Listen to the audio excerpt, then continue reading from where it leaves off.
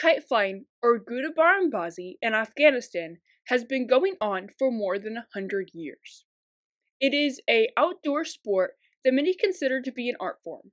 The kites cost from 2,000 Afghanis, just a few cents, for tiny children's kites, to 100,000 Afghanis, less than $2, for large kites usually handled by experienced flyers. It is frequently enjoyed during the weekends because Friday is considered a holiday in Afghanistan.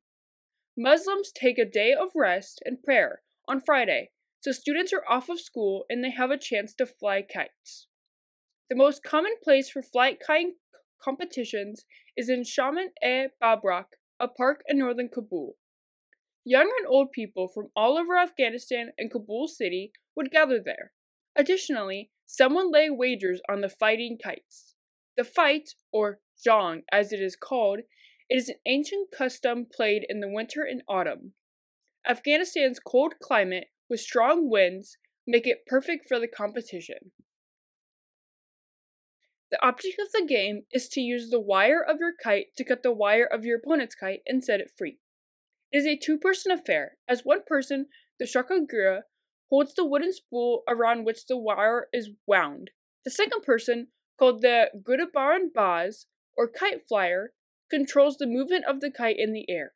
Then, at the end, each neighborhood crowns its own sharti, or kite fighting champion. However, it is a dangerous sport, as many people get injured on rooftops by chasing free kites or forget about the ground when battling. Some people's hands are cut by the kite lines like steel wires, although the kids think the cuts are like a champion's glorious wounds. To make the string, glass is finely ground and combined with an adhesive mixture to make a thick paste. Then, the wire is coated with a paste to make it strong and sharp. After it is dry, the wire is wound around the spool. Kite fighters often wrap a piece of leather around their fingers to protect themselves from the wire. Kabul is filled with shops selling all manner of kites and related supplies. There are about 500 to 2,000 kites sold every day in each shop. During the war in 1996 to 2001, the Taliban regime banned kite flying in the belief that such pastimes were un Islamic. If they found out someone was selling kites, they would come and destroy the kites, spools, and other things.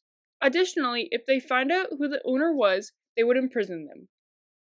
If you flew a kite, the Taliban would beat you and would break the spool and tear the kite up, Karim, a 12 year old boy, recalled. The fall of the Taliban meant the Afghans could again fly kites without fear of punishment. Many Afghans have returned to the pastime with vengeance.